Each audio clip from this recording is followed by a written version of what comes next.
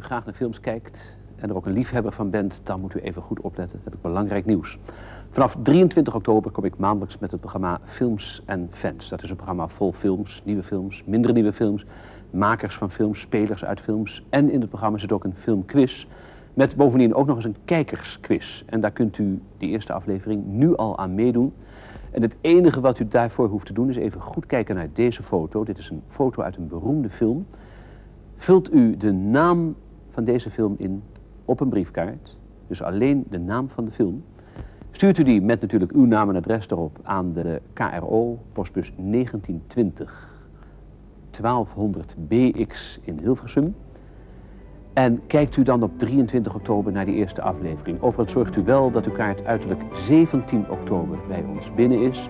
En het kan best zijn dat u dan 24 oktober een fix stukje rijker bent. Tot dan.